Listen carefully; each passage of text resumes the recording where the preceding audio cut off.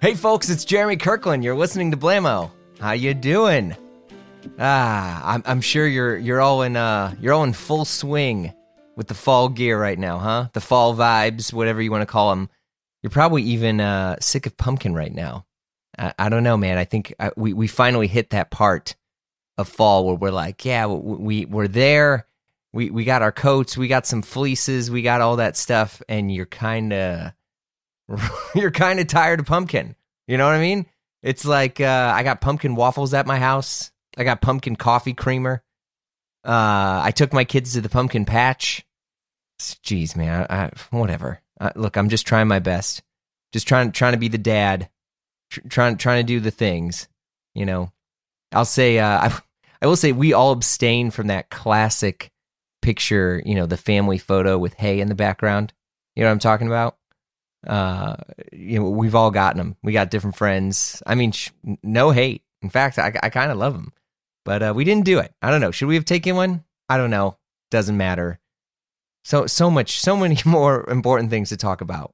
Look this is what you know these are my good old fashioned intros where you just sit here and i'm just talking to the wall. But it doesn't matter because we got guy Trebay on the pod this week.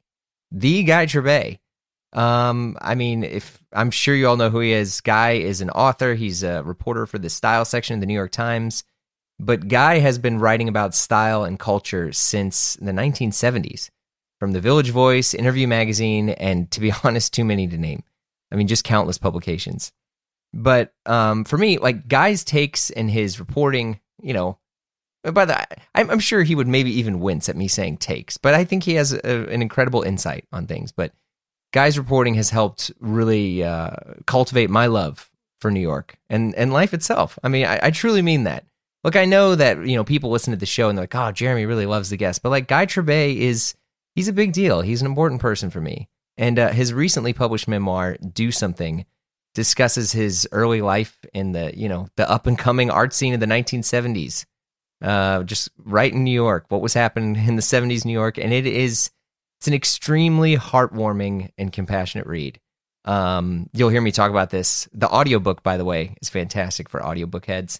But uh, I would highly encourage you all to pick it up. It's it's just a good one. So, guy came on the pod. We discussed the current state of fashion, avoiding burnout, the brands he admires, how retail is evolving, and we unpack more of his recently published memoir, Do Something. All right, folks, here we go. I'm glad we got to do this, guy. Thank you very, very much really super thanks for having me. Yeah. Um, I definitely want to want to make sure we get a lot of talk about your book because I've now I've now read the book twice. I I, I did the audio book, which was which was very good. Um, how, how is that? I, I, you know the thing is I haven't had the nerve to really listen to it, and Edo Ballerini is like a genius. Yeah. Um, it was great. What, what was funny is I think I he did he was one of the main um narrators for um was it not not the gentleman in Moscow, but I think for the Lincoln Highway because basically after I finished yours on my like Audible thing, it popped up and it was the same. It was yeah, it was the same. Would you say Edo Ballerini? Edo Ballerini, yeah, yeah. I mean, it, he's fantastic. It, it's it's very done. Yeah, he's done everybody. Um, he he does Knausgaard. He does. He's. I mean, the the time Susan Dominus did a piece in the Times in which he was called the voice of God which scared it scared me because I thought it would be like Peter Coyote and the book would sound like a you know Discovery Channel. Yeah, but he has a very he has a uh, like a beautiful timbre to his voice, so it was like I, I was lucky to get him. Oh yeah, yeah. It was it was, but it was great. It was it's really good. And then and then I had to read it on my own to kind of go at my own pace on things and you know backtrack when uh because there's a lot of stuff that you mentioned in the book which caused me to go back to I'm like, "Oh, did you mention that part?" and you know, then going back to a you standing in the house and stuff. But it's it's a heavy book and I think, you know, for most people, at least people that listen to this, they know you from your writing about men's fashion. But I think, you know, this memoir itself talking about um a time in New York that at least people now are trying to fantasize about in this world where artists can thrive and you kind of found your own way as an individual i think it's it's something that maybe feels like now more than ever people are really looking for i, I mean i would hope so I would hope so. I'd like to think that that would. I mean, obviously, there's nothing about that period that isn't happening now. It's just that it's happening elsewhere. Yeah. You know, I feel I feel like uh, the you know occasionally when I'm talking about the book or doing these book tour things, people want you know I,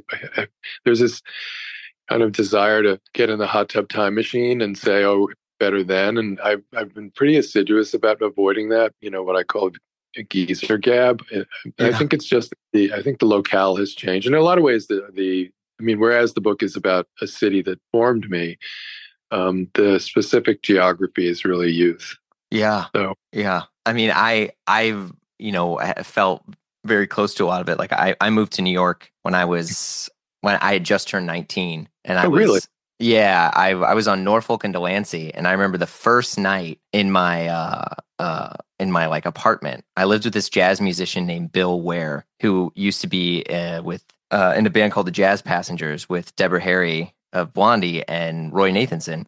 And we were right across the street from Tonic. And I remember the first night, he's like, Oh, he's like, we got to go see a show. And he took me across the street from our apartment, and Yoko Ono was like reading poetry at Tonic. And it was like some of the most exciting moments of my life because I was like, oh my god this is this is new york i'm like everyone's doing stuff here everything is everything you know it felt like it was just happening and, and welcoming and i was you know, I was sleeping on a floor in a, you know, I, I got a mattress from Sleepy's that I hauled up a five floor walk up, but I feel like I was in it. And yeah, I mean, your your book. That's the New York deliverable, and I, I mean, I think probably that has changed for real estate reasons. But uh, you know, and one of the things that I thought was kind of has been interesting to encounter uh, is I knew this going in uh, that you know I'm basically describing the the pre pre digital world, mm-hmm. and so the pe- people's uh, lack of experience of having to do things in an analog way has been interesting for me. You know, because I mean, obviously everybody's living in a screen, and the, the, period that period, you know, the most notable thing about it is you had to go out. You had to yeah. go out, whether whether or not Yoko Ono was reading, you'd have to go out to find find that. Yeah, or even yeah. find out see who was wheat pasting or who who knew who knew how to get into what club. Yeah, it's true. I mean, I remember waiting in line to go. I think like Misshapes was was starting to to go at the time, and it was at like Luke and Leroy's, and and it was and for me, I mean, I was able to kind of I was underage, but I had hair and I looked a little bit older at the time, and it was it, it was freeing. And I wasn't even a person who was just going out doing crazy stuff. I, I just wanted to be a part of something that I had always you know uh, fantasized about. In all in all honesty, you know, from looking at Rolling Stone and Spin magazine and just seeing live music and now seeing Mercury Lounge is like a five minute walk from where I was living. I mean, it was right. Yeah. It is, it is amazing. I mean, and a lot was happening. And I imagine a lot is, I mean, I'm not really doing that anymore, but, uh, yeah, I mean, I think I, am with you on, in the sense of, of, uh, it feels like, you know, w- when you're walking around, cause I, I don't live in New York anymore. I, I now commute there. I live in, in the Midwest. Um, we had to move during the pandemic and, you know, cruising around New York, I still get this kind of like wonder, wonder eyed, exciting feeling, but I am pacing and passing a lot of people who are in New York as well, and they have their just heads in their phones. And I get it, I guess, but you know, sometimes I'm like, well, may- maybe all of you need to move away and and realize you take this for granted because yeah, there's there's so much stuff that you can just see by just looking up. I mean, I, it sounds so trite for me to to to go on about it, but it yeah. no, I feel that way, and I, I I probably have written that far too many times. You know, it's it's really it's always a good instruction to look up. And we've, yeah. you know, generally speaking, I think that we're out of the habit of that. I, I don't exclude myself. I used to be very judgy about people on buses who were like looking in their phone instead of looking out the window at other people. Mm-hmm. I mean, mm-hmm. now, of course, you have to kind of avoid people's eyes because there's a lot of very unwell people. Yeah. On subways and buses, far more than I can ever recall. Um, so, you know, for self self defensive reasons, you have to be a little bit cautious about that. But, you know, my, my entire working life was basically being a voyeur.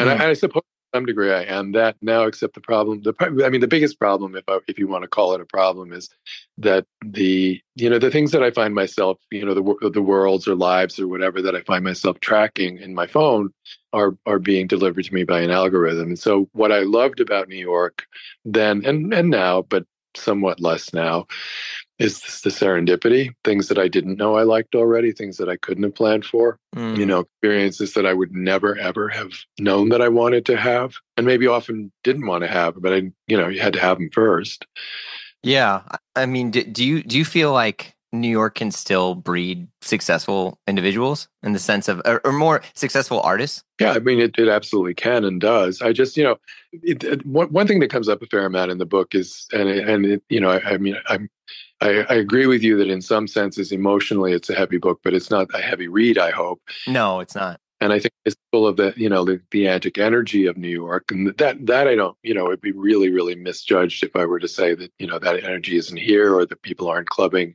in interesting ways. And I know that a lot of there was a time during the pandemic when I was supposed to do some story for the Times about you know how there was no place for anybody to meet or do anything, but in these very renegade ways, kids were doing these kind of like drop a pin raves, like pull up a van in a lot and you know, drop a pin on Twitter, and then if you if you saw it, you saw it, and you you know you got there and and you ha- you went to that party. But what comes up a lot in the book is that New York in, in those days was in some senses smaller population wise, not so much, but it was um, tr- more tribal, mm. and a lot of uh, inter- interactions uh, between the varied tribes, but there was also a lot of porosity. Like you could move in and out of groups or tribes, and I I think that it feels to me the the thing that would be inhibiting uh, is that lack of porosity. I think people are pretty much in I don't know how I want to describe it silos or kind of I feel like they're in devices more than they are in public spaces where you're going to have to interact with people. Yeah, I mean, is there what what's your daily routine now these days in terms of how you're finding you know creativity in the city or inspiration in the city? Uh, you know, I, I mean, I, I, can't say that that is really my my uh, my brief anymore. You know, yeah. and I think that, there have been some fairly big changes in in journalism anyway. So a lot of people are really basically doing their reporting off their phones. They're not, you know, I'm pretty much um, I, I, before I came to the Times, I didn't understand things like enterprise journalism and shoe leather reporting. I just thought that's what you did, you know. Mm. And that, now I realize that it was kind of a relic. Even as I was as I was doing it, it was on its way out.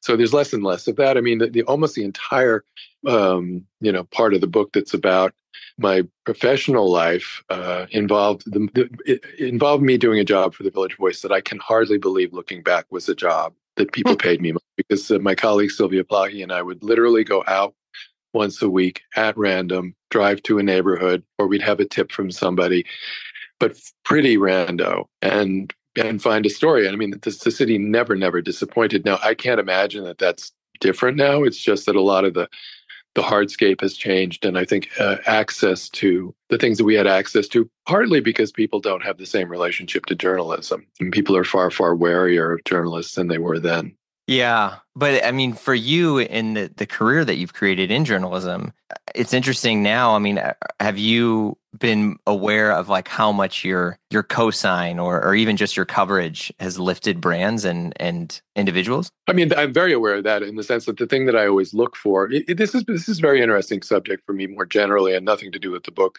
Like when when I started at the Times, you know, I'd written about fashion throughout my journalistic career, but it wasn't I wasn't a dedicated journalist whose whose subject matter that was. I was writing about it more as a kind of phenom or mm. the way the way the fashion existed in urban spaces or you know stuff like that but i um, had the great you know luxury and i guess luck uh, starting off in this job of being around uh, the creation of what we now know to be super corporatized fashion so when the when the big when the big multinationals like you know got the the fashion memo and started buying up all these relatively defunct marks and then they had to go out and find the geniuses to run them. So it was all creativity all the time like the lee mcqueens the you know margiela he wasn't belonging to a conglomerate but galliano like really really you know unbridled creativity. And that's always that's always the denominator for me. Like that's the thing that i'm always looking for. And so i think now the example that i would most you know in at the moment point to is you know i was i've been i was writing about willy chavarria like early, early days when nobody knew who, Willy was. And I'm very thrilled to see Willy elevated. Um, so that, but but it was new, and I think that that's that's what lights me up. You know, there that that sort of discovery, which was possible, because you know Willy Willy was in some sort of like off off off calendar show schedule. You had to really you know, you really somebody had to have tipped you, or, you had to be turned on by what you were hearing, or and I think that that has happened a fair amount. And you know, the, his his his progression has been the arc definitely bent upward in a necessary, you know, like in a sociologically necessary way, inevitable way. But I could take a little bit of credit for having gone out and found it. Yeah, and I I think it's you know one of the things I really really love about your journalism that I don't think I understood until I read the book is you know it reading stuff that you would cover in the past. It always felt like you were you know yes it was impartial yes it was good but it always felt like you were cheering people on and seeing that you've had so many various careers but we're also like you know you you worked at brands you ran brands you you worked at clubs you had such a incredible variety of careers but all that were within the creative field it makes me feel um, that you just have a lot of empathy for artists and individuals you know and with that being said like i'm you know do you think you wouldn't have had that had you not worked um, on both sides of a brand before? Well, I mean, it, I, you're you're very flattering, but I don't think that I would go so far as to say that I worked for brands. I mean, I had some gigs, and in my early days, I wanted to be an artist, so I was, you know, doing gig stuff uh, a lot and making stuff that we, a Pal and I sold to stores and. Um, just being around create, creative people generally, but I think you know the, the, the chronic empath thing is just my nature. Mm-hmm so I, you know, I'm, I'm, I think I, am sure that we share this. I think most people in this line of work do share this. It's like the, you know, the curiosity is uh, non-negotiable. right. Yeah. And I have, of course, empathy for anybody who's trying to make a go of it, but not if they're not talented. I mean, you know, it's like God bless, but I, I, I'm really like to think that my antenna, antennae, I guess is how you say it, is are, are tuned to like real talent. Mm. Or I, mm such such as I see it. You know, because a lot of what we're being treated to now is mostly just marketing and, and corp stuff and corp speak. You know, I mean, I almost always feel uh, that what we're looking at, I think, in, in you know, in the in the macro fashion sense, they're like market plays. You know, and then and everybody gets all tangled up with the, particularly of late, since with all the musical chairs at the big houses, like you know, it's personnel's it's just it's the kind of we wouldn't be interested in it if it was any other business. It would be just like somebody just took a job at Hewlett Packard, or you know, it would be like the back of the biz day. Yeah, pages. But it, there's this obsession with these people as creative directors or creative whatever they are. But mostly there are people who are guiding marketplace, mm. and I'm mm. I'm I'm just much more sympathetic to you know the, the people who are irresistibly must make things yeah, I mean, I, you know, really am bummed that I never got to have any interactions with Helmut Lang, you know, but I admire everything that he has done and made in his career. But uh, a part of me, you know, scratches my head and it's like, well, wait, like, doesn't doesn't he need to be running his brand? Shouldn't he be doing this? You know, and I, I recognize that that's absurd of me to almost demand, but I think that's I've I've almost been trained by you know this like high fashion consumerism of just expecting these creative directors to uh, just have their own factory and and and always have their finger on the go button. You know, it's it uh it's it's challenging for me, and I, I recognize it. I mean, explain that further if you would, because I'm not 100 percent sure I understand like what you are wanting. Sure, I, I yeah, it's it's fair. I mean, I think I was a little muddy there. I think one of the things that I love and wrestle with is is wanting uh, is, is I would almost have a zealous desire of consumerism of art. And sometimes I realize that good art takes time. And in the world of fashion, into which there has to be a new collection all the time, um, I think some of these people can get burnt out. And oh, all of them, all of them get burnt out. I mean, that that's sort of what I'm saying. So in order to be, yeah, in order to get in one of those jobs and not crack, you have to be made of a particular kind of stuff, and that stuff typically is adapted to corporate environments you know the artist artists a lot of them have really stepped stepped away the people who really are much more interested in the artisanal and the, and the artistic side of things. I mean I, I, I don't necessarily like to use him as an example but if you take an evan Kinori, he was like no i don't need to scale. This is enough. I, I yeah. want i want to have what i do and do it the way that i want to do it and i don't need to have like a thousand people reporting to me. And i don't need the vc guys coming in and telling me you know how to be me. And yeah. I mean, not that I'm valorizing, um, you know, that per se. I mean, I, I, there's nothing wrong with wanting to be the next, you know, Emily Bode wanting to be the next big thing, but you know, there, something's going to be lost along the way, as there always is. And I and I have a lot of sympathy for people who just are inclined to, to be inside. Someone who did this really super well was Italo Zucchelli when he was at Calvin. He did not lose himself, and he had lots of very big corporate jobs, and he was doing incredibly creative stuff, which everybody, including beloved Virgil Abloh, stole from. And you know, he he had a good go, and then ultimately was offloaded but he he was able to keep keep hold of the artistic side of what he had in mind you know while understanding that the you know the mandate is to sell merch. Yeah.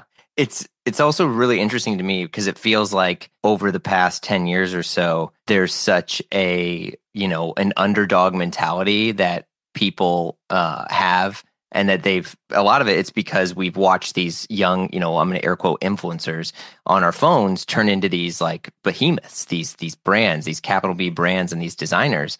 And you know seeing how some of these other larger fashion houses have really tried to leverage the name of their designers in ways where it's like i mean i've even sat on meetings of companies that i've consulted for and they're like yeah we're we look too big. How do we look smaller how do we how do we you know have people want to cheer us on and have sympathy for us when it's like yeah you're you're you're a five billion dollar brand you know and so it's it's always kind of weird seeing how some of these you know larger companies into which you know they may have a goal to have people refer to their creative director as a first name you know whether it's like a Hedi Slimane you know people people are more into Hedi Slimane than they are the brands that he's been at, you know. And I right. think it, it's interesting watching that, but I don't know how long that'll last or or you know, or if that is even good for society. I think it's more a matter of like what it is we're looking at. That's the thing. And I think that we're still imagining that we're looking at the great creators, and what we're really looking at is phenomenal business people who understand personal branding and can leverage that inside of big corporations. You know, it's an interesting thing if you think about, you know, scale the way that you're talking about it. So like Valentino is like 1.5 billion, let's say, in size.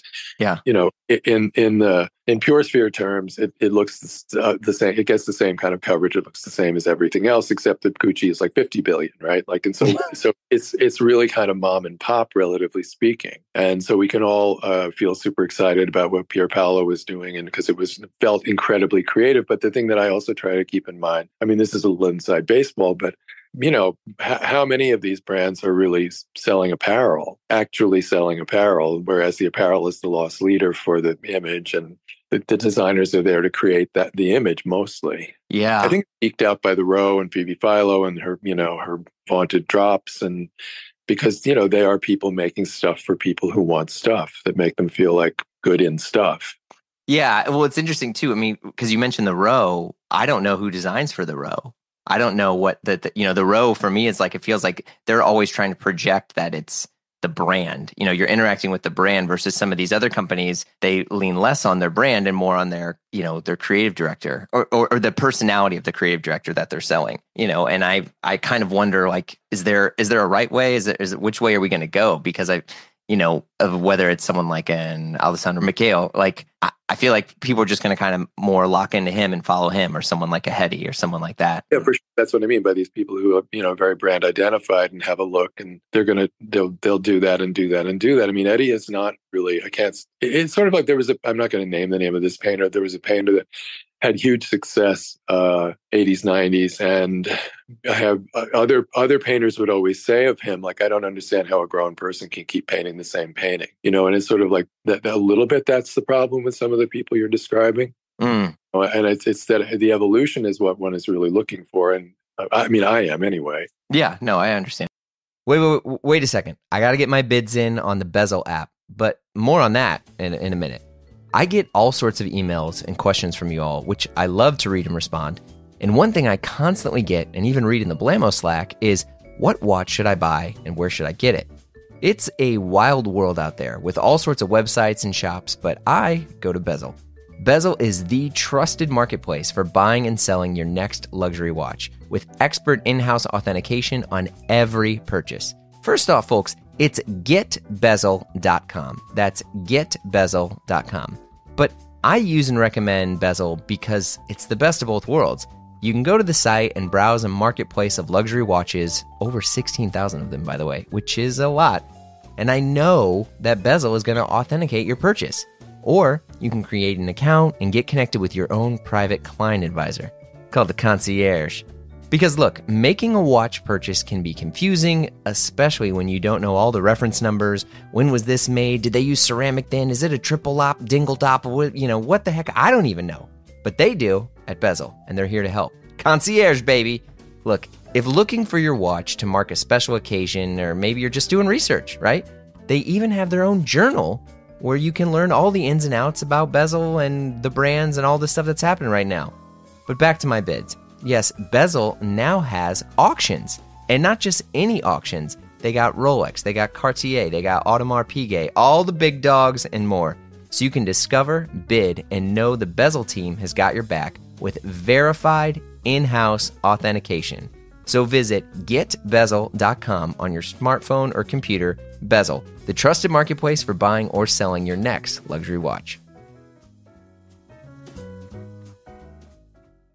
Yeah, I mean, I'm I'm excited to hear Tom Ford kind of take a break and chill out. I mean, I know he's he's a dad. He's he's got he's got a, a life of, to live outside of him just constantly making things. I mean, I have no personal interaction with him ever, but he's a person Yeah, that think- yeah. now you know it's it's an age based thing, and he really wants to make movies, which is great. It's was I think generally speaking, is according to what he said to me, the you know movie making is the most sort of globally fulfilling thing for him, and he should by all means do that. But at the same time, it's really wonderful to see in terms of very you know large scale businesses to see Haider going there because Haider is is really really a creative guy. Yeah. You know, Yeah. I mean, and there has been a bit of an elevation of these like people, I guess, who could have been lumped into the journeyman category, hmm but I don't see them as such because Haider is, has been, you know, he's. Re- I mean, I don't usually like to use this word, but he has elevated anything he's gone near. I agree. I think he also just, you know, it's it's always cool to me into which you have some designers where I feel like they really embody the personality of their designs. Um, and like Haider, just seeing pictures of him, I'm always like, I need I need to change my wardrobe. I need to, you know, I'm just everything that he does. I'm always inspired by. So I like just his own personal style. I'm so there with you because when I mean, I don't really, you know, I try not to get really too caught up in street style photography, but if I see a picture of Haider, I'm like, I, I just, I don't know what I'm doing. yeah, I am. I am kind of curious about that, and I, I mean, like, how have you? Because you've gotten to, you know, be around from uh, different eras and stuff, and seen things come and go. But I feel like you know you've always kind of maintained a very classic American style of who you are, and I am, you know, mildly curious. Like, how have you been able to do that and not get so heavily influenced by all the trends? I think because it really wasn't my job to do that. Fair. You know, I mean, it's really like I, I'm not. It it is an interesting thing because a certain number of people who get into this get into it because they want to be, you know, cool kid and dress like cool kid and Yeah. the front row coolster. But I, you know, I have I've always taken the journalism side of it much more seriously than the, the fashion side. And so for me, it was really just uh, I think I I basically dressed the same as I dressed when I was in high school. I mean, in high school, that's not exactly right to say because I was I, you know hair down to my ass, but the basic American preppy you know thing has kind of carried me through. I don't see a lot of it. I don't have a lot of incentive to try to play around with it. I don't really necessarily like to talk about age appropriate dressing, but you know, you have to, you really have to keep it tight as you get older. Sure. Sure. Do you enjoy shopping? I, I don't even know what shopping is anymore. It's a very upsetting thing to me because what I really, really enjoy is is um, I don't want to say I'm a flaneur, but I love walking and I love walking around in the city. Mhm. and I'm really, really disappointed in my city in terms of what there is for me to look and look at, look at in windows. Right, I, I kind of Jedi mind trick myself sometimes, and you know, I, I do. I go in different neighborhoods to hope that I'm going to find something new, and it happens, Mhm. um, but less and less. And so I, you know, I, I I've said this before, but you know, when when Manhattan, for example, where I where I live, started to be only banks and and and chain drugstores, I, I would, you know, as I say, we like tricked myself into saying, well, this is a slightly more interesting Duane Reade. Hmm. they have a different merchandising in their window or something like that. But I, so, like in that sense of shopping, like I would, I would give anything to have things be in to some degree the way that they were, where the real estate market could support lots of small scale retail. And I, I definitely think that there's an there's an appetite for it. I mean, I know there's Atlantic Avenue stores Mhm. here, and and that's that's great. But they're they're I won't say they're one offs, but they're they're fewer and far between than I would like.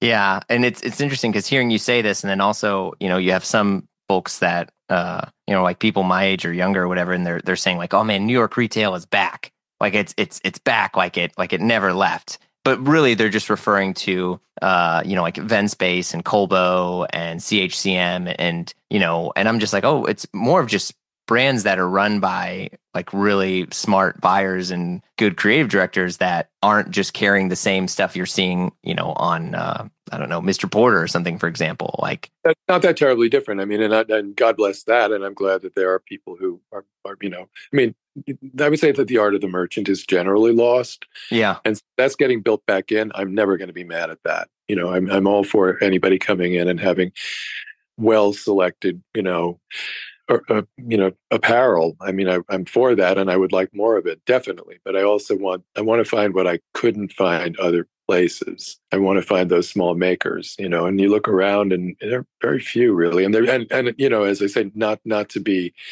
yesteryear about it but there were so so many of those things before. And you know like stores like Knob Knobkerry which was this amazing east village store was hundreds of years ago it seems now you know that absolutely was like a gathering place and the, the most uh, eccentric group of, of you know designers creators and also you know musicians whomever i mean the, you know the store as locus is a is a very appealing idea to me and i you know there aren't that many places that i can think well i want to go there just to, even in the way that we all of us i think used to you know whether you could afford it or not that was the beauty of department stores you you they were free yeah. i mean make them seriously yeah i know you're right yeah you, you but you could walk in and they had air conditioning. You could walk around. You could look at stuff you probably couldn't own. Um, but that's I, I, have found when I'm doing the book tour that I'm, I'm describing so many things that now no longer exist that I have to just have to like to explain everything like if the department store was. Yeah, I mean, when I was younger, my uh, I I didn't have very much money or come from much money, but my my mom would always like to take like weeknights and we would go to the mall and just go look at stuff. And and we knew like that was the agenda, but we would go to like the, the nice, the like kind of more upscale mall and we'd walk around and we you know and it would be awesome because i got to see you know designer brands and i, got to go to neiman marcus and and things that where like where i was living at the time that that store wasn't there you know? And i remember there was um there was a smaller kind of like high-end menswear boutique uh, and i won't name the name because i think it's been it's it's uh, been resurged or whatever but um but they carried like diesel jeans. And i got to see firsthand you know this cool exotic italian high-end product. And and it really got me excited for physical retail. And i think you know it's every time i go back to new york or you know go around Italy or Florence or Milan and just to kind of walk through some of these places, especially Tokyo. I mean, geez, that's the greatest on earth for me. Next level. We have to have a whole other episode for that. yeah, yeah, exactly. I mean, I'd love, I'd love your your walking tour and shopping tour of Tokyo. I mean, but you know, just seeing the art that's in physical retail, um, I I like almost encourage every single person to just force themselves into because it's made me realize what a, a rut I've been in for you know my style and how I dress myself and how I want to feel because in a lot of ways that yeah like what you were saying you know to to go back to the beginning where it's like otherwise I'm just looking at my phone and I'm seeing a thing that I like and then I'm getting served all the other brands that look like the brand that I just liked. And then I'm not really seeing something merchandise or displayed in a way that you know is is challenging. And, and yeah, I, I uh, yeah that I didn't already know I liked. I mean, that's the whole point. yeah. know, that, I'm already bored with my own taste. Show me something that I didn't know. You know, and I mean, I, I uh, you know, I'm also the dirty little secret about online is that so much of the stuff is crud, and then you have to send it back. I mean, the, the percentage of returns is like shocking in terms of uh, e-commerce. I mean, like really, like a very, very high percentage. I mean, I'm I'm saying what everybody knows, but it's yeah. If really, if you really net it out, the difference between that and you know just getting out of your house, going to a place, touching this stuff. Because, you know, in the end, that's one of the beauties of being in Europe and why a lot of us who are privileged enough to have been in these European cities, it's, it's a joy to, to shop in those places. And there I do like to shop mm. because you know it is not it's not an afterthought for those salespeople that they work there. Like it's a dignified profession. They're really into the products, generally speaking, and they're very happy to uh, have customers and educate customers. And that's not really that's not part of the the program here, as far as I can make out. Everybody's just like, yeah, whatever, buy it or don't buy it. You know. Yeah, I mean, you're. Yeah, I mean, a lot of that also has to do with. I mean, I'll just go ahead and say just like the fact that a lot of the places in the countries that you mentioned, they have access to healthcare. You know, I mean, I would work in a retail store forever if I didn't have to worry about healthcare. no, I'm not. I'm not. Not. I'm not. Uh, absolutely, that's the case. Absolutely, like same same with you know all kinds of all kinds of things. I, am not getting into like the macro socioeconomics of it, but no, I, for but sure. All those things being the case, they there is it's it's not considered demeaning to sell clothes. Yeah. And consequently, you're in a much more equal relationship with people who are showing you clothes and you know explaining why you might like this and not that. I mean, it's the whole this and not that thing that I think is really, uh, you know, it's, it's a luxury. Yeah. You know, you know, I am to kind of talk a little bit about your book. I am curious about you know your relationship to vintage things because you know you had talked about in your book that the vintage stuff your friends had found and that you had found a lot of times like you know, it was they you had said it was like more or less curbside trash. But I'm curious, like how your relationship has evolved with, you know, I'm air quoting the word vintage nowadays, and and if you have vintage clothes or even do vintage shopping. I'm very interested that you say this because I was uh, I just did a piece about Bella Freud and I was talking to her mm. about this. So I, you know, it, to, to split hairs when when I was a kid and we were thrift shopping and we didn't even call it thrifting it's just we were thrift shopping and it was it definitely had not been in, in, industrialized as vintage right mm-hmm. so it wasn't a market category it was just there were these stores that everybody scrounged around in and found like extraordinary things. And there were jobbers. I, I write about in the book. This guy called Bogies, where everybody, everybody, all the you know like Blondie and Madonna, and everybody went to this place where they were just un, unveiling rag bundles that could have any you know like old army surplus. It could have you know 40s house dresses. It could have you know 30s evening gowns. It could be anything and it's it the, that part of what is now as i say industrialized as vintage again comes down to you know when you have like huge brands that are having like micro capsule vintage collections mm-hmm. that it's it's kind of not working for me okay. but I, I, I have you know I, I love like Maurizio Donadi when he went, who, who does Transnomadica and who was the creative I can't remember his, his, title of Levi's for years and is is absolutely a genius. And he you know so he he does this thing that's uh, that fascinates me where he kind of he, he's a great collector but he's kind of he has this vast vast uh, warehouse in East Los Angeles in Vernon and uh, he there were periods even within the big labels where there was amazing stuff like early 90s gap and he collects early 90s gap anoraks you know? So it can like there's a way even within major brands where you can see that was a period where they were where their their suppliers really wanted the business and they were making things really well. Or or somebody you know somebody in the design team had some crazy thing going on. So like that totally appeals to me to sort of now now you know if i get have a nutty moment and start to go you know late night online shopping. It's stuff like that that I'm looking for. Oh, nice. I have a friend who collects a lot of, um, you know, vintage men's magazines, not not like like porny men's magazines, just you know, gent and what, what I forget the names of all of them. And I I love to look the I'm, what I don't love is the magazines kind of smell like mold. Don't, this is true, yeah. but what I really really love is the ads because yeah. through the, discovering all of these brands that I, you know, that are most of which are of course defunct, and these labels, and and so there's, you know, that I upon occasion do look for. Yeah, so I had to block like eBay and Etsy and a few other things from my phone late at night because I would something would happen. I would be under the influence of something, and I'd wake up and realize I just spent a couple hundred dollars on like an apparel arts magazine and like you know a weird hoodie that was like from a specific era of Russell Athletic and stuff. But in a, it like I, I wrestle with my new shopping. I'm kind of air quoting that word because I feel like maybe I sound like an elitist prick, but like I, there's nothing new to me um, of that stuff. But of the older things and seeing how things were made a specific way, even you know, it's a bit of an oxymoron. But that is the stuff that tends to excite me the most now. Is you know, uh, an older version of a brand. Like you, you know, you mentioned Maurizio collecting like, you know, vintage Gap or vintage. I mean, there's, yeah, I mean, the amount of like younger folks that are trying to get into vintage Abercrombie right now, which I right. never thought I would say. but it really, uh, you know, I mean, I get, I, oh, for a moment, for like a crazy moment, I thought you were talking about like original Abercrombie. Yeah, like, oh no, yeah. this is 90s Abercrombie. you know, I mean, go for it, knock yourself out. But I, I really feel like the like to go back to the row, for example. I was talking. There's a person in the book, this this painter friend with whom I lived in the early days when I was working at the Warhol factory, and we um, her her dad we we were both on our own since a young age. I've been on my own since I was 17, and she more or less the same. But her dad ran a coat factory in the garment district, and we were talking about the days when there were such things, and they were they made private label label goods for the department stores. Uh, uh her her her dad's company happened to be called Paula Lawrence, but it never the that label was never in anything. It was you know Bloomingdale's or what have you, and the, all those categories basically went out the window of like better dresses, better coats, or the mid range stuff because then everything became designer. And you, when I look at the row, it's basically they're kind of rebuilding that business. I mean, at vastly, vastly higher prices, but it's just good goods.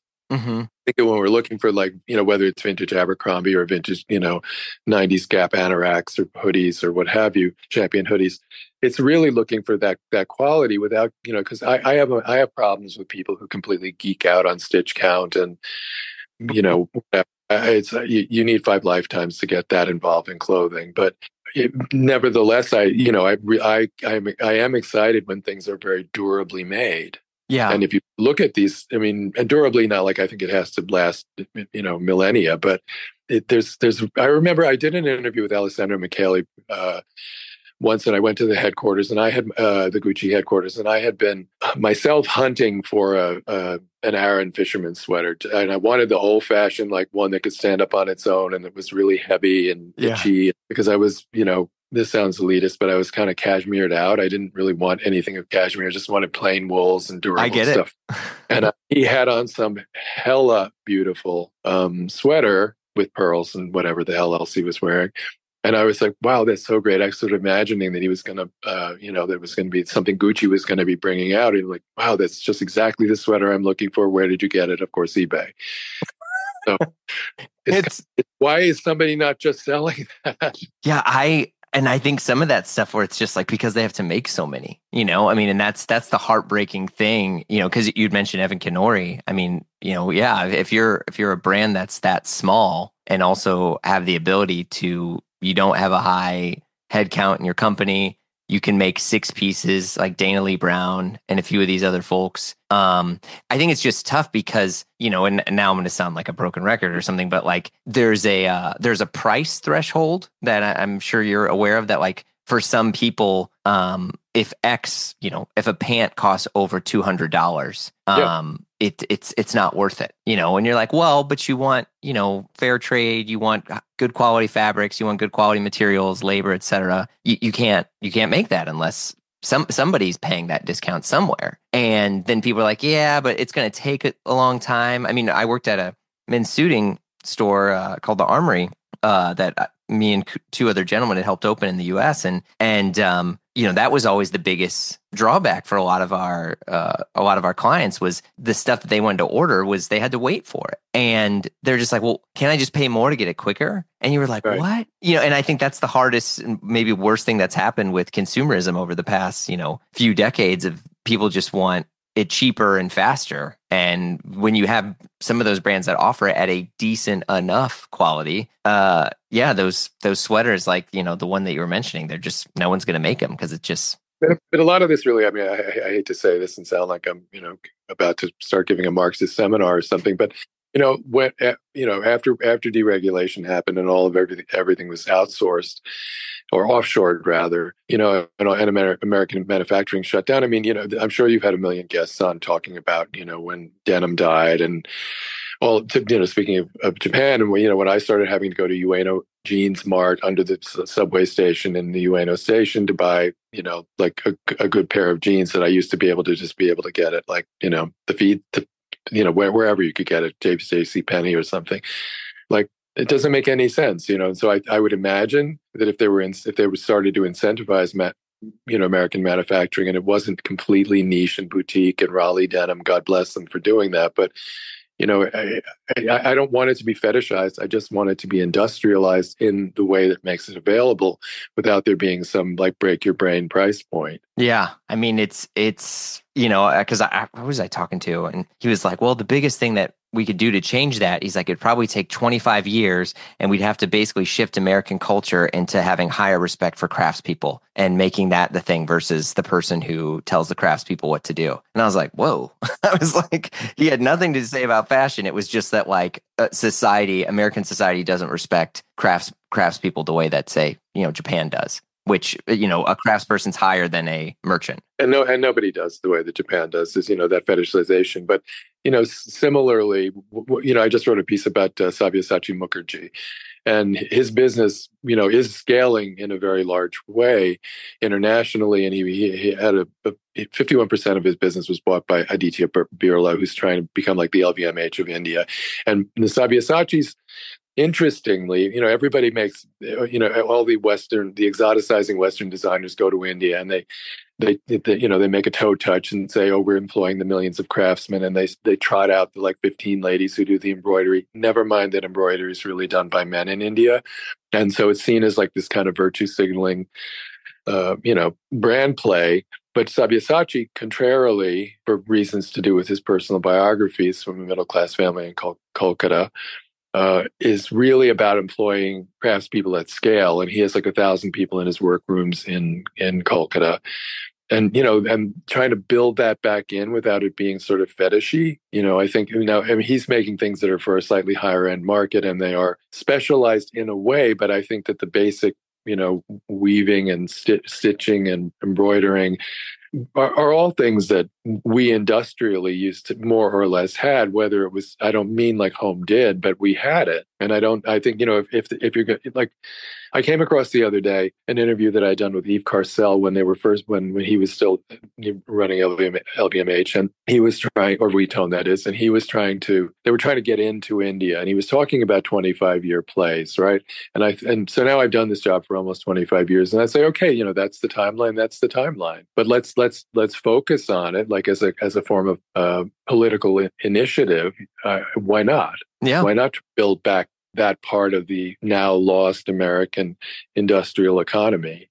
Yeah, I mean, there's people that have tried to do it too, but it's like eventually someone gets venture backed and they just, you know, the, the greed of, of an 8x return in an 18 month window just somehow starts to eclipse their uh their production process. Agreed, agreed. I mean, I, I, know I'm being idealistic, but I don't see any harm in no. it. No, I, I, think it's to be honest. I think it's people like you that have have created like such an incredible career and have um you know and continue to do so can help like inspire you know these like young visioneers or vision well whatever we would want to say uh to to think that way and to dream that way because I think a lot of times it just it just gets lost or you know but I agree like uh India is where it feels like some of the best textile and menswear stuff. I mean, the amount of brands that I'm seeing that are start to go there, and not just because it's you know it's a new Portugal in terms of labor and and production quality, but just that there is really good um, you know artistic textile work and manufacturing work that can be done there, and you can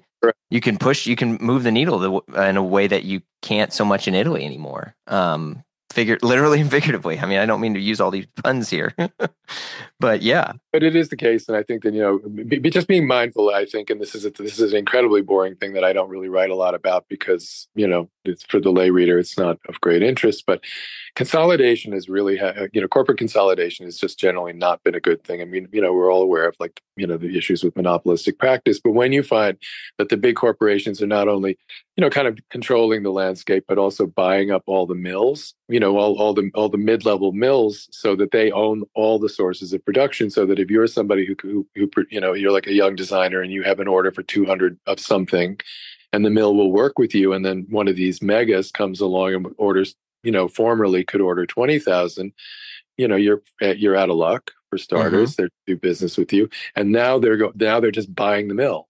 And they're going to yeah. be, no obviously it's a, it's, it's, a, it's a corporate initiative across the board in that sector. And so i think how do you how how are people going to do that unless like raleigh denim or something they just get their own looms yeah and i and i don't i don't see how that's you know i mean i do see how it's possible because he did it victor lytvinenko did it but you know, it, uh, how you scale that, I have no idea with, with, or without VC money.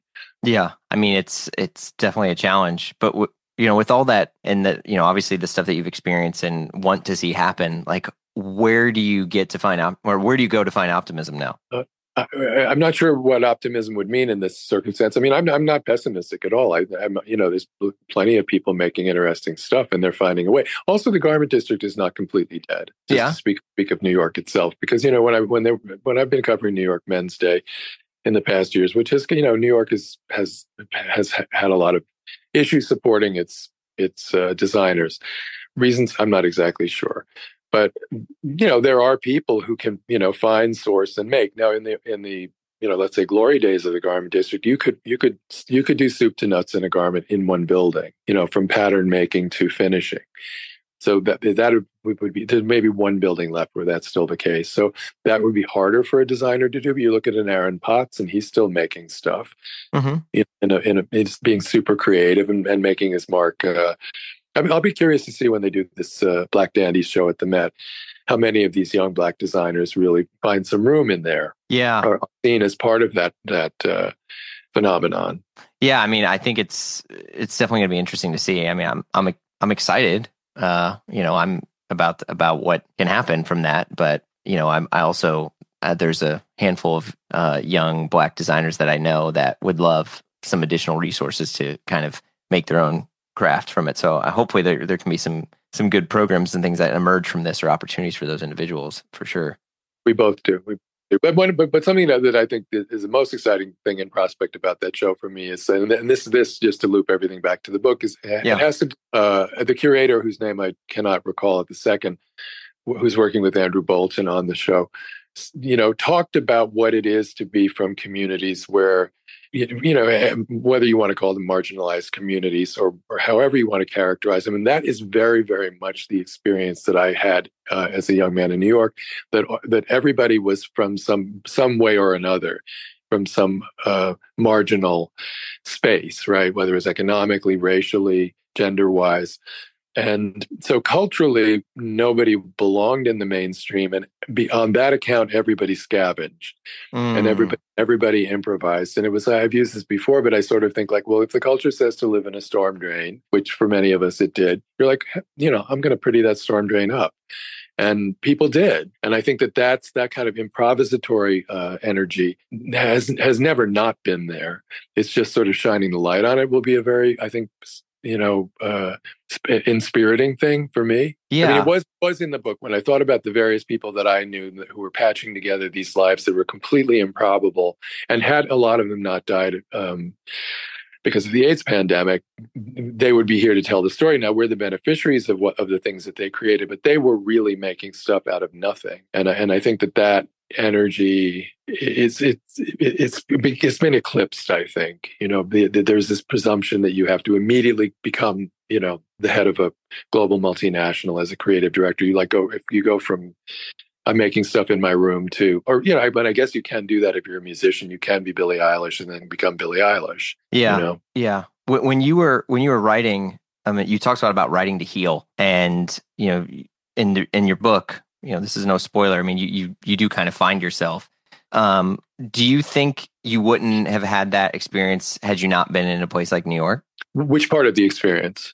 I think just being a part of a young community of people that took a lot of risk, but also you know ha- had to had to find their own support. Maybe didn't have as much of a safety net as as a different type of community. Yeah, it's funny. I I, I never like to come off as if I have a, a cheap chip on my shoulder because I you know I grew up in an upper middle class family and things went south, but and consequently I, I was on my own quite young. But you know I think that the, the, combination of the receptivity of the culture at that particular moment and the you know and just the the ambition and uh, energies of people being young made made for something that was really interesting. And I think that there was there was just you know this cult this culture is always throwing out a lot, mm-hmm. and I and I feel like it, it's you know maybe people were like recycling and upcycling before anybody knew what that was. I mean, in, you know, intellectually and, and, and in other ways. I mean, you know, physically, but also intellectually. And I think that that provided a lot for me. Mm-hmm. You know, I mean, just, even if you think about the bookstores that the used bookstores that because you know I didn't I, I barely, barely eked out of high school, and I definitely didn't go to college. So, you know, uh, my education was, uh, you know, basically assembled from a syllabus I put together myself. You know, buying fifty cent books off of used book cards. and it, it worked out. Yeah, yeah, you, have done all right.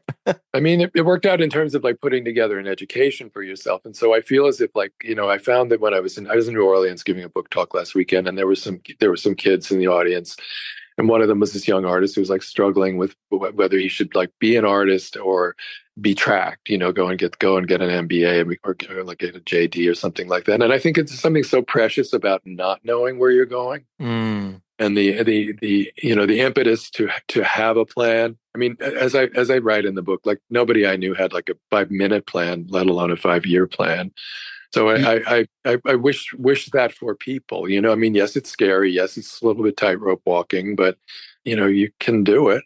Yeah i mean it, it makes me wonder as you know you and i have a i won't go into all details but you and i have had a, a few sort of shared um levels of emotional trauma that might have happened to us at different stages early on in our life. And I think that there is a um, there's a drive that tends to form around folks who are adjacent or near different levels of of like an emotional trauma. And I think for some people they can go one direction which ends up hurting them down the road mentally or physically. And you you it seemed like you went into yourself and found like a level of drive and a level of like um exploration and I, I think that's one thing that is um, that's that's something to celebrate. And I think it's you know it's unique to you, but it's unique to individuals who are are able to find something to grasp onto. You know, especially without a safety net. And I, am I'm, I'm being somewhat vague to you know not try to give away a lot of stuff, but also but there's a know. lot. It wouldn't be given away, and I mean you're very kind to say that, but I don't think it's necessary. I think it's a thing that's been studied a lot in families that mm-hmm. you know the same the same you know, same siblings have the same experience and one survives and one does not. There's, there, there, there, you know, genetically there are dispositions to resilience. And I was a, you know, I was a very ambitious kid. I knew, I mean, I'm not exactly sure I knew what I wanted to be, but I knew that it was something. Uh, you know, I was pretty determined, and I, and I had a lot of luck roll my way. I'm not going to say otherwise, but the I think that it's that you know, I, I it, was when COVID rolled around, I, it was very challenging for me because here you have you know a, a huge number of deaths globally and people dying in these very frightening ways. And I and I having experienced the AIDS epidemic in New York, where 100,000 people died uh, just in New York alone by peak peak, peak pandemic years.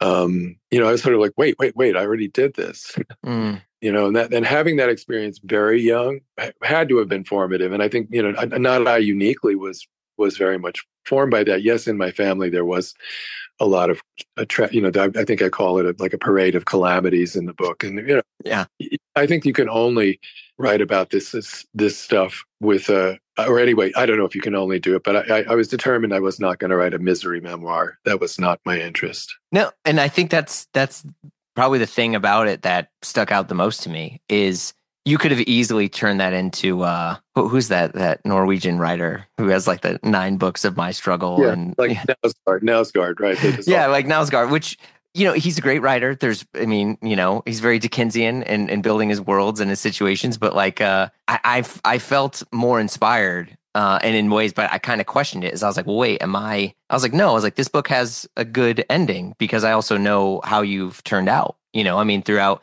the stuff that you've gone through and you know uh, the levels of parenting you had to do with your parents um, i think is is something that many people unfortunately get put into a situation to and to see your success from it. I think it's a very very inspiring book from that. Oh, i mean just nice to say. The thing that i want to really uh, you know not i mean i'm super super grateful and is super kind but you know like everybody has stuff in their lives right? And it's not a sweepstakes like somebody who has the worst life wins but yeah. you know experiences but i but I, I i have been fortunate in being able to well i mean i you know make something out of it and i think i would hope for everybody that they have the opportunities that and i really have had a lot of good luck roll my way I, I can't say that that isn't a big part of it yes i'm determined and yes we all want to try to keep it going but luck plays a big role and my, when we did, the, a colleague and I did this series called The Unstoppables, which was about people 75 to, you know, basically to eternity, uh, who are, who have made a lot of success in their lives and why they continue to want to do things in their late life. And almost everybody I talked to, almost everybody could be Robert Wilson. It could be, you know, Lauren Hutton. It was, you know, pretty, you know, Mark di Suvero, Paula Cooper, very eminent people. Uh, they all were like, well, I didn't really, you know, I didn't want to be this thing that I became, but they all had in common these drives. And they all had, in, in many cases, they had similarly, you know, challenging, let's say, early lives. So I don't really feel like I, I had more than anybody else. I just, I had what I had. And I had also was lucky enough to have the, res- the resilience, I suppose, as a resource to, uh, to, I guess, survive it. Well, yeah. And I think for me, what it looked like you had is you chose to forgive people versus to hold a grudge for the rest of your life. And I think there's because the one thing that I people have said to me is that you know it's like a very compassionate book, and I'm and I'm very grateful to hear that said because it's like I have no no absolutely no stake in settling scores, and I really didn't want to you know do one of those books where all the stories come out to make me look good. yeah, sure. Well, but I, I think ultimately that's what happened, and I I think that for me as you know, again, this this hit a lot of personal notes for me. Uh, you know, I, I have a few friends who have experienced different levels, and they chose to to navigate forward uh, in this sort of like Michael Jordan mentality of like just anger was the drive, and proving someone wrong was the drive, and it felt like you you didn't really find your own sort of joy in your life until you started to let go of some of those things, and you realized by letting go and forgiving those people, you were able to look at the world in a totally different way and I think like that to me was one of the biggest takeaways I took from it that, you know, I mean, I've always admired your work, but knowing that like this was some of the parts of your character that was shown was was really it, it meant a lot to me. So yeah. And that means the world to me and I thank you. Yeah, it was thank you. It's it's cool to see people who can not lean on their egos heavily for a career, but be in a world that is solely led by egos. and still have a successful career. And so I'm just like I I just love you know your take on a lot of these things. I mean, you should have a podcast. I mean, as far as I'm concerned, but um, it's it's a glass of water in the desert for sure. Oh, thank you so much, sir. Yeah, guy, thank you so much for your time. Uh, again, this was this was really special to me. I appreciate it. Thank you so much. You've been listening to Blamo. Our show is produced by Blamo Media. We're edited by Amar Lowell, and our theme music, as always, by the mysterious Breakmaster Cylinder. If you like what you heard, you know the drill. Share the pod with a friend. Leave a review on Apple Podcasts. Give us five stars or thumbs up on whatever other thing you're listening to us on, whether it's Dingledorp or Bing Bong, whatever it's called. But you can also follow us on Instagram for all the hot content. If you want to talk to us and give us your hot take, we'd love to hear from you. You can send us an email at info at blamopod.com. Last but not least, super ultra important. If I had a air horn, I would press it right now. You got to come and join us over on Patreon because the fun never stops over there. Look, the the, the live show, the, the the free show, whatever you want to call this, we take breaks here and there, but Patreon it never stops. And we also got exclusive shows like Die Workwear, hosted by Derek Guy and Peter Zottolo, and the Triple J Show, hosted by yours truly with uh, Jon Moy and Jian DeLeon. There's there's just a ton of stuff over there. So check it out at patreon.com forward slash blamo. If not, no worries. We got hundreds and hundreds of free episodes in the feed and uh, more to come. So we will see you all soon.